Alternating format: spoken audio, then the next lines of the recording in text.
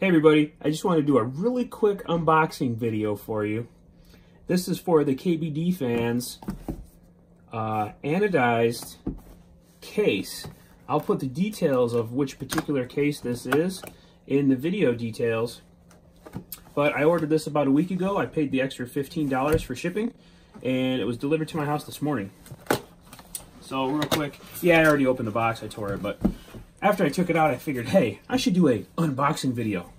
So the cool thing about this case is that it is supposed to, and I'll find out, I'll do a follow-up video, it's supposed to be able to handle the layout for the Ducky One 2 Mini.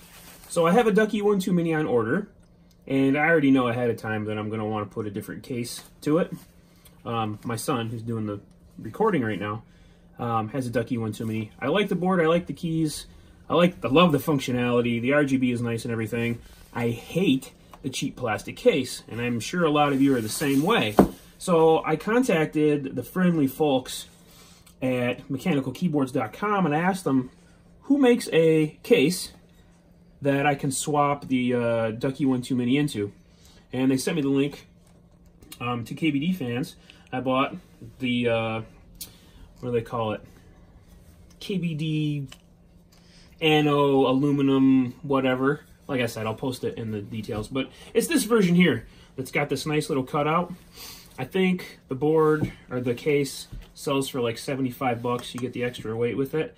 Um, and then after you pay $15 for expedited shipping, it comes out to be 88 bucks. So here's the basic uh, board tray. It's still got the uh, anodized uh, plugs in there, the thread protectors, so make sure you take those out. Can I take one out? No. Why not? Okay, take one out. Right here. Take that one out. Okay. So, once you get that stuff out, this is a really nice looking uh, case. Really beefy, really good quality. Um, as far as the machine work, it's superb. Uh, you can't see any cut marks in it. The anodizing is nice and even. I'm not looking at this thing with a microscope. Um, for the price, honestly, I didn't expect it to be this nice. So I'm pretty impressed. I love the color blue. It's going to go good with my keycap set. Uh, I think, I hope. Uh, my wife says I'm colorblind. Maybe I am, so what? But I like it, so that's all that matters.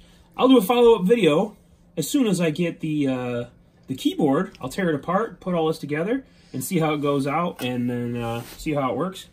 And then um, hopefully, if you guys are looking for the same thing I was, I had to hard, I had to search um, really hard to find um, a case that would fit the Ducky One 2 Mini.